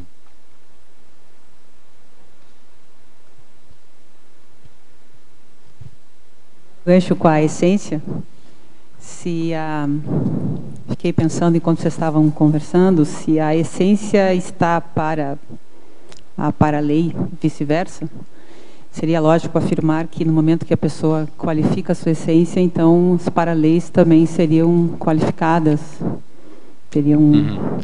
a, a vivência, de... a percepção e a vivência, né? Das paraleis se qualificariam. Com comunex extrafísicas mais avançadas nesse sentido, a partir da própria eu, qualificação eu, coloco, eu acho que eu coloco alguma coisa aqui na parafatologia relacionada a isso. Né? Quanto maior é, o discernimento da comunex em relação às paraleis, a paradireitologia, mais avançada essa comunex é. Né? Porque eu volto, volto ao que eu estava dizendo, ao raciocínio que eu estava trazendo aqui, né? que eu trouxe, eu acho que durante toda a tertúlia. As paraleis elas descrevem é, o mecanismo de evolução, né? Então, na medida em que a gente, quanto mais a gente conhece esse mecanismo evolutivo, é, mais apto evolutivamente, cosmoeticamente, a gente se torna, né? Quanto mais a gente conhece essas regras do jogo evolutivo, maior a nossa inteligência evolutiva, né? Então aí eu poderia até falar que eu não falei das constantes, né, na página 27 que eu acho que é bem interessante a gente dar uma olhada. Então, por exemplo, autocosmoeticidade. Quanto mais se vivencia a cosmoética, mais se insere no fluxo paranormativo. Então, é sempre dessa maneira, né? Quanto mais a gente qualifica intraconsciencialmente a nossa essência, a nossa ontologia, né, consciencial, mais a gente qualifica a nossa paradeontologia, os nossos paradeveres. Então, essa relação. Então, quanto mais, no segundo item, quanto mais alto parapsiquismo lúcido, mais se percebe a extensão das paraleis. Né? Quanto mais se desdobra o fluxo evolutivo, mais a interassistencialidade se torna, se torna norma cogente e inexcusável consciência. Né? Faz lógica isso? Tem, tem, tem, sentido isso? Uhum. É, eu, eu, também acho que faz bastante sentido. Quanto mais holomaturidade se desenvolve, mais livre-arbítrio se adquire. Quanto mais se reconhece as paraleis, mais se garante o ingresso na paracidadania cósmica. Sim. Então essa, essas constantes elas dão dão um resumo do que seria a aplicação teática das paraleis que eu que eu trago aqui na na frase enfática. Né? Conhecimentos das premissas básicas do cosmos, adquirido por meio do estudo teático das paraleis, permite às consciências se nortearem conforme a infrangível principiologia evolutiva. Né? Porque os princípios evolutivos eles não mudam. Né? O que muda é a nossa capacidade de estar mais condizente com esses princípios. Né? O que vai qualificando é isso, o que vai mudando é isso, é a nossa capacidade de evoluir, né? Em outras palavras. É, respondendo, então, isso também o item número 4 aqui da página 27, que você leu agora, liberdade, de uma certa forma também responde a primeira pergunta que o Cláudio fez na tertúlia, que é sobre os é, é esse ponto eu, eu acho interessante, eu faço novamente a analogia com a criança. A criança não tem muita liberdade. A criança tem uma série de restrições. Não pode andar descalço, não pode sair sem agasalho na rua, não pode comer não sei o quê, não pode andar sozinho, não pode ficar sozinho em casa, não pode um monte de coisa. Porque ela é uma criança. Ela não tem como se autodeterminar como um adulto. Né? Ela é imatura. Ela não, ela, ela é, ela, a liberdade dela é restringida porque ela é imatura. Ela não tem o discernimento para saber que ela não pode fazer aquelas coisas. Né? Mas na medida em que a gente alcança essa condição da holomaturidade, consequentemente a nossa liberdade também se qualifica. Né? Então, é, existe essa, essa constância, essa, essa relação de maturidade com liberdade. O adulto, ele já tem é, e aqui o adulto evolutivo, né? Eu falei da criança, mas eu, eu me referia à criança evolutivamente.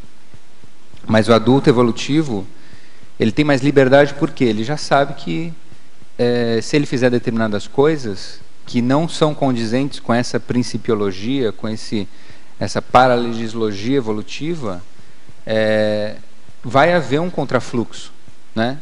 Que eu até falo aqui na binomiologia, se não me engano, que a contrariedade a essa paralegislogia é uma autossabotagem. Então, na medida em que a gente tem noção desses princípios evolutivos, né, o, menos, o menos doente assiste o mais doente, né, é, e assim por diante. Né, todo, todos os princípios evolutivos que eu falo aqui são os princípios que a, que a própria conscienciologia propõe. Né. Então, na medida em que a gente tem noção, ainda que teórico, aquilo já faz sentido para a gente e a gente não não não nos manifesta, não, a gente não se comporta e não procura, não se esforça para se manifestar com, com esses princípios e com essa, essas regras evolutivas que já fazem sentido para a gente, a gente está se auto-sabotando e, consequentemente, restringindo a nossa manifestação, a nossa liberdade, nosso livre-arbítrio. Né? Obrigada. É, Poderia comentar que na politicologia, a meritocracia e a, a, a paracognocracia, cognociocracia, e também fazer um paralelo aí, parece que a questão da autocorrupção está muito presente nesse teu tema, né? À medida que, você, que o paralelo é uma espécie de uma advertência. Né? É, a paralei, como eu coloco até na, na sinonimologia, ela é uma baliza existencial, né? Quer dizer o quê? que ela, ela pode nos servir de parâmetro para a nossa manifestação. Então, por exemplo, a gente já está consciente da lei da evolução, da lei de causa e efeito, da lei da, da inseparabilidade grupocármica, da lei da afinidade, enfim. É, a gente já está consciente de tudo isso. Então, a gente pode utilizar isso como uma baliza, um parâmetro para a nossa manifestação. E a meritocracia ela vem justamente nesse sentido. Né? Então, quanto mais a gente se esforça para é, atuar nesse sentido, mais mérito a gente vai adquirindo. Né? E a, a paracogniociocracia também. Né? Então, é, é, é esse, essa paracognição, né, que também é uma, em primeiro lugar, é uma autocognição, que nos vai dando mérito, mérito evolutivo, para, vamos dizer assim, é, a gente nos capacitar cada vez mais a ajudar os outros. Né? Rodrigo, para finalizar, você já comentou, passando, mas uma teletertuliana, ela pede para você explicar especificamente o item 5 da sessão constantes, lá na página 27, que trata da para-cidadania. É, o que eu quis dizer aqui, aprofundando um pouquinho, nesse último minuto que a gente tem aqui, é o seguinte.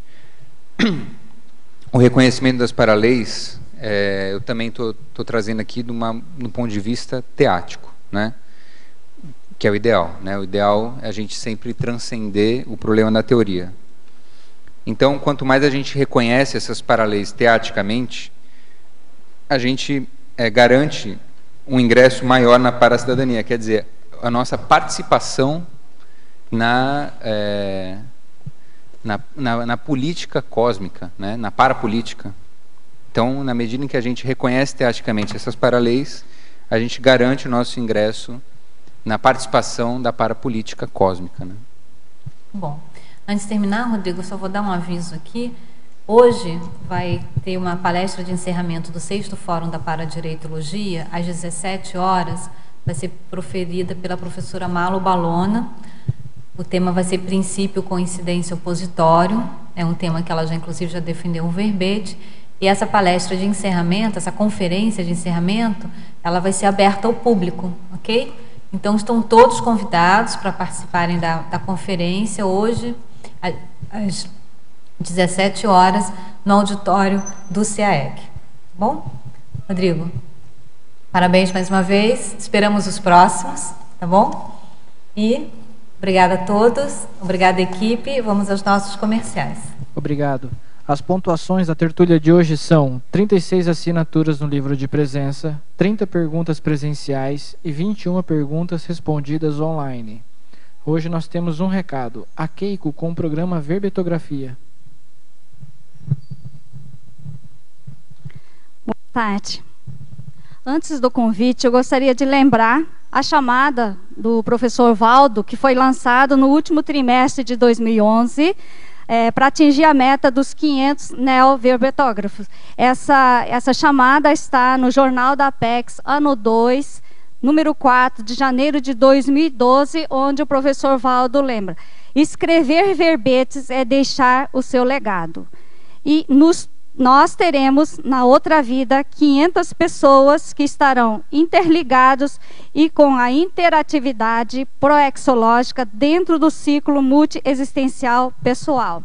Então, é, para que vocês façam parte dessa, desse mega GESCOM grupal, a Enciclo Sapiens convida os, tele, os tertulianos, no caso, residentes em Foz do Iguaçu e nas proximidades, a se inscreverem na próxima turma do programa Verbetografia semipresencial. As aulas é, presenciais acontecerão às quartas-feiras. Essa turma tem duração de três meses, né, e as começa no dia 20 de agosto. É, os alunos terão aulas gravadas, liberadas semanalmente, que poderão ser baixadas e assistidas quantas vezes forem necessárias, e aulas presenciais às quartas-feiras para tirar as dúvidas e também para fazer o acompanhamento é, presencial da sua produção verbetográfica, tirando dúvidas com relação ao conforto do verbete e também utilização da chapa verbetográfica. As inscrições poderão ser feitas na recepção do CAEC por telefone 45 3525 2652 ou por é, e-mail caec@caec. Lembramos que a turma é, do a turma EAD, né, da a distância já começou na quinta-feira passada, mas ainda há tempo de se inscrever para quem estiver interessado. Então, até quinta-feira da próxima semana, ainda podem fazer a inscrição e poder terminar o ano né, fazendo o curso, já praticamente é, terminando o seu verbete, podendo, com a possibilidade de até o final do ano enviar para a, para a revisão da equipe verbetográfica. Obrigada e aguardamos vocês. Para amanhã, teremos o verbete crescendo afetividade, transafetividade, especialidade transverponologia, com a verbetógrafa Marlene Roque. Obrigado e boa tarde a todos.